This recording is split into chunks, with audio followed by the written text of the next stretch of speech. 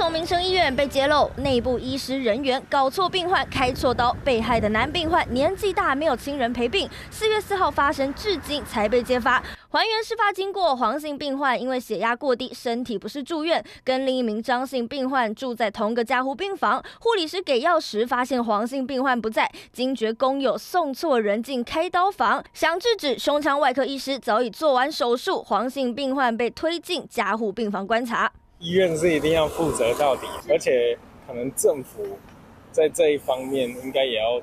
就积极一点，为什么会推错房？这种这么严重的？被医院开错刀的黄姓患者，平时住在鹿竹这一间养护之家。询问内部人员，只说患者痰多住院，知道服用抗生素治疗。对于他被开刀，疑似不知情。民生医院也发声明表示，这件事从传送人员、病房跟手术室的护理师、麻醉科医师、外科主治医师都将记过处分。本人对此事件表达深切的检讨及歉意。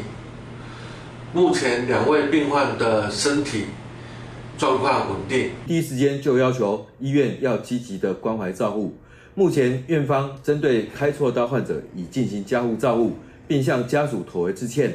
同时，院方已召开人审会，就责五名相关的人员。均记过处分。卫生局要求院方提出改善计划，开罚五到五十万。至于主刀医生，将依医师法二十五条，业务重大过失，技术惩戒。同个病房的患者没有确认身份就被推进手术房，直接开刀，整个环节从上到下竟然都没察觉。三立新闻胡新武会山高雄报道。